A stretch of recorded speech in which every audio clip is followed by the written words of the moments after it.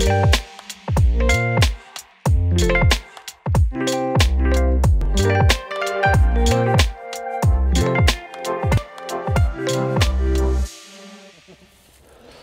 m'appelle Julien Roy, je suis animateur nature euh, dans une réserve naturelle, réserve naturelle de l'étang de la Mazière euh, à côté de Tonins en Lot-et-Garonne.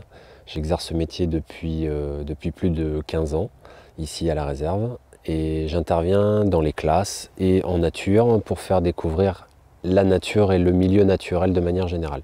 Ça peut passer par des animations sur la faune et la flore, sur des, concepts, c'est-à-dire le développement durable, l'écologie euh, participative, etc.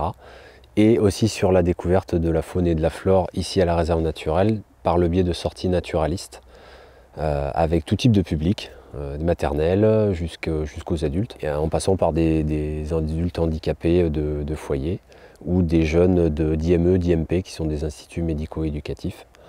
Donc euh, j'ai un panel large de, de, public euh, à accueillir et puis aussi de participer à la gestion de la réserve, euh, que ce soit sur la rénovation d'un huteau d'observation ou participer aux activités comme le bagage des oiseaux migrateurs. Donc dans le cadre du métier d'animateur nature, on est amené à faire euh, tout un tas de choses, il faut être assez polyvalent. Euh, ça commence déjà par une phase préparatoire au bureau, donc on va préparer ces animations pour euh, ben, sensibiliser de la meilleure des façons son, public.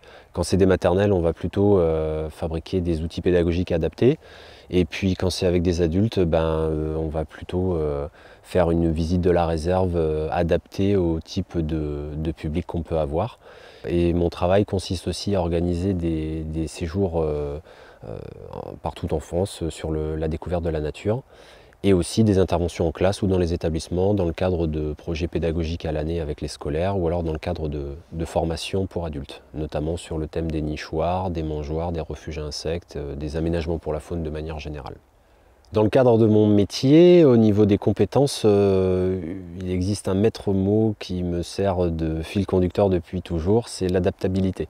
C'est-à-dire s'adapter à son type de public, s'adapter au site euh, sur lequel on va faire l'animation, euh, le sécuriser, savoir s'adapter quand on doit réaliser une brochure, il faut savoir faire un peu d'infographie, il faut savoir évidemment pas mal de choses sur la nature, que ce soit la faune, la flore, avoir des connaissances naturalistes. Euh, être en empathie avec son public, il faut le connaître, c'est-à-dire avoir un minimum de pédagogie avec euh, les maternelles, euh, les primaires qui demandent une pédagogie particulière qui est différente de celle qu'on peut avoir avec les adultes ou avec les adultes handicapés. Et donc c'est cette polyvalence-là qui, moi m'intéresse et qui, qui, conditionne mes journées de travail. Pour devenir animateur nature, j'ai réalisé, j'ai effectué un BTS gestion et protection de la nature qui a duré deux ans en Aveyron. Et euh, ça m'a permis euh, directement après de, faire ce métier. Il faut savoir quand même qu'il y a une contrepartie, c'est qu'il faut être prêt à bouger euh, géographiquement parlant, puisque en France les places sont assez chères et qu'il n'y a pas du boulot d'animateur nature partout, et qu'il faut être prêt à se délocaliser.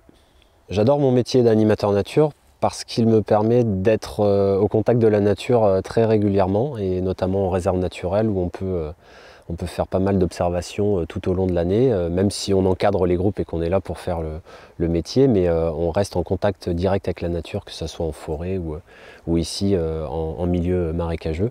Et c'est un luxe que peu de gens peuvent se, permettre d'avoir et c'est très intéressant. Ce qui n'empêche qu'il y a quand même un côté préparatoire des animations au bureau ou même quand je réalise une brochure ou de l'infographie pour réaliser un panneau. Euh, c'est une, activité très enrichissante avec les publics. Euh, il faut quand même la faire dans différentes conditions et ça, c'est pas un aspect qu'il faut négliger. Il faut être dehors, quel que soit le temps, et s'adapter à ces publics. Euh, c'est un métier qui est assez intense physiquement parce qu'on est sollicité régulièrement et qu'il faut, donner de soi avec les gens.